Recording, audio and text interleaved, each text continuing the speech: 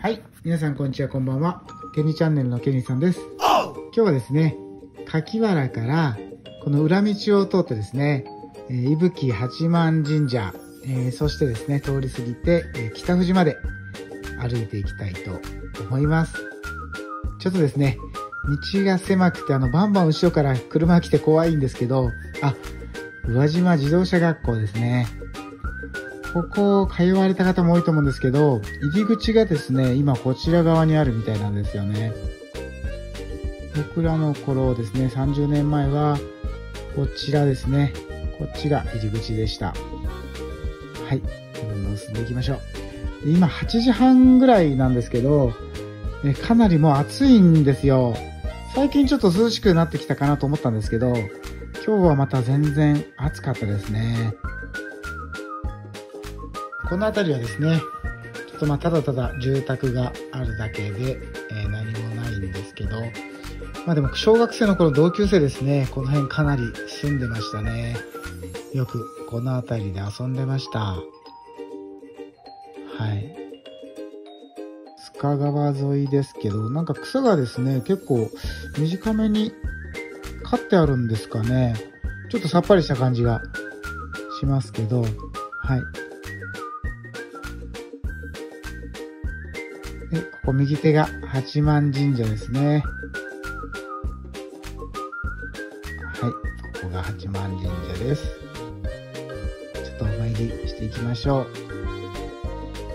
参道を通ってですね。で、前も言ったんですけど、宇和島で僕神社ですね、まあ、和霊神社も、えーこの間言った上津彦神社もですね、で、こちらの八幡神社もそうなんですけど、こう、賽銭入れてですね、ご挨拶した後に、ここをぐるっとですね、回るのが、まあ、当たり前というか教えられたというか、こういう参拝の方法をしてたんですけど、え他の地域に行くとですね、神社の裏に回れるとこって少ないんですよ。少ないというか多分ほぼほぼない感じなんですよね。なんで神社を一周回ろうと思うと道がなくてですね、行ってはいけないような感じになってるので、ちょっとですね、どっちが正しいのか、はい、わからないんですけど、はい、まあ、ぐるっと一周させてもらいました。はい。で、このままですね、歩いて、ちょっと大通りに出ます。はい。で、ローソンがありますね。はい。本当僕からしたらですね、宇和島にコンビニがあるのがかなり違和感あるんですけど、本当コンビニが増えてますね。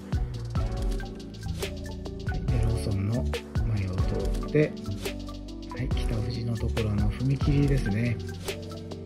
これを渡ったら左側に北富士があります。はい。じゃあ、行きましょう。はい。では、こちらですね。ケニーさんにとってはですね、えこちら側の入り口が、ま、正面入り口というか、はい、懐かしい方の入り口なんですけど、宇和島の方からしたらですね、えどちらかというと、え今向かっているこちら側のですね、入り口の方が、まあ、メインの入り口なんじゃないかなと思います。はい。そちらの方の入り口に向かってみましょう。昔よりもですね、随分大きくなってるんですよね。